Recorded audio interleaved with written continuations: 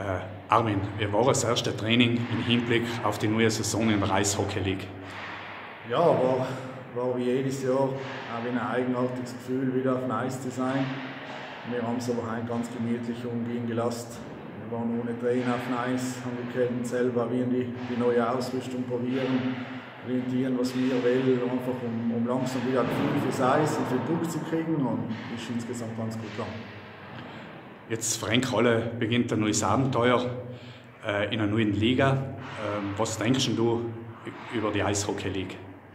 Ja, ist sicher eine Liga mit, mit einem hohen Niveau. Es ist eine riesen Herausforderung, glaube ich, für jeden Spieler, was da dabei ist. Wir haben ganz viele neue Spieler, Spieler von, von überall auf der Welt her.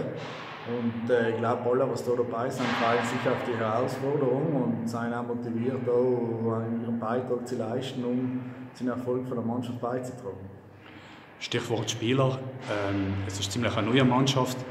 Was weißt du über die neue Mannschaft und was denkst du über sie?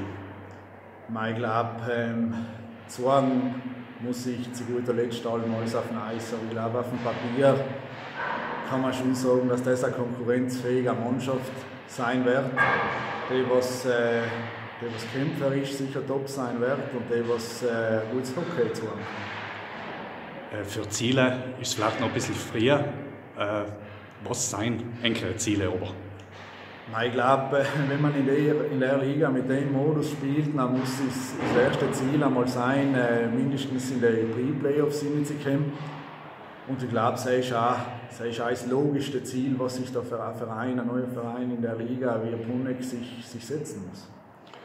Für dich persönlich ist es ja eine große Herausforderung. Äh, du hast eine Familie, du hast einen Beruf, du hast Eishockey. Wie bringst du das alles unter einen Hut? Ja, ich habe mir, hab mir viel Gedanken gemacht, weil bei mir von vornherein klar war, dass äh, wenn ich da dabei bin in der, in der neuen Liga, dann will ich hundertprozentig dabei sein und dann will ich auch meinen mein Beitrag bringen und meine Leistung bringen. Ich habe, ich viel überlegt, ich habe mich gut organisiert und ich bin jetzt voll motiviert, da dabei zu sein und, ähm, zu tun, was ich kann. Noch eine letzte Frage ähm, zum neuen Stadion. Ähm, welches äh, wie, wie sehr fiebert es äh, im ersten Auftritt im neuen Stadion entgegen?